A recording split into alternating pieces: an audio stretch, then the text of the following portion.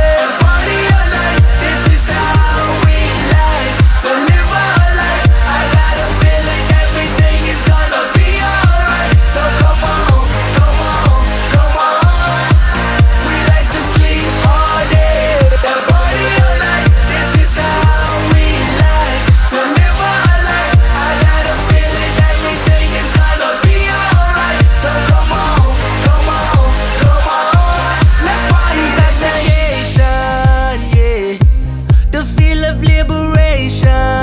Yeah.